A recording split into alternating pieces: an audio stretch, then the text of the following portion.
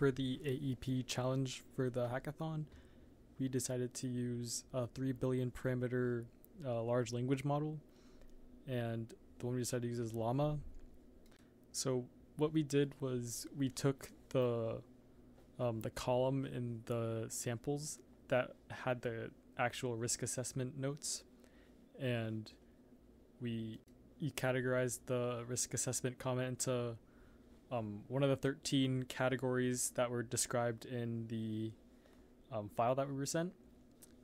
Then we also determined whether it was a no risk, low risk, or high risk hazard we decided to keep the prompt for the prompt engineering simple because if we had too much, then um, it would get confused. The GPT would get a little confused.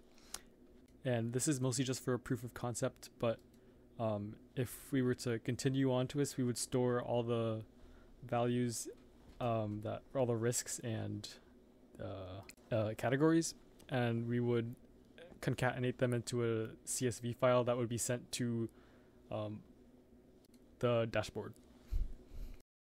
With a front end that is web based. Uh, right off the bat, you might be able to notice there are three boxes.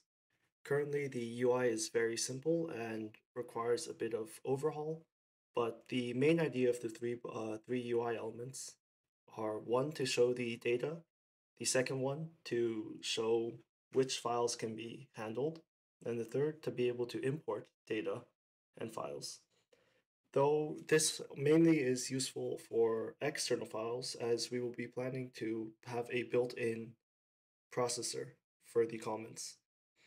However, however, that is in the future. Currently, as the system stands, you can upload a file through the import system. And once you import the file, you, you will be able to see it in the secondary. This will mean that the content is ready to be analyzed.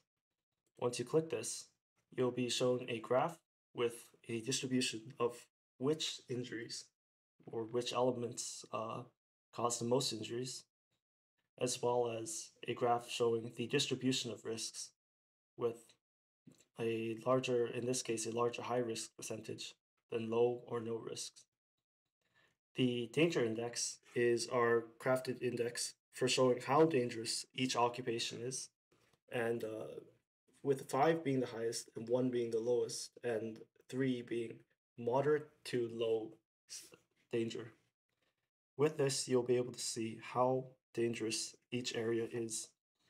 Additionally, the reason we have chosen a file import system is because a database might get too large for the data collection, and also it might also it is much more flexible in the long run.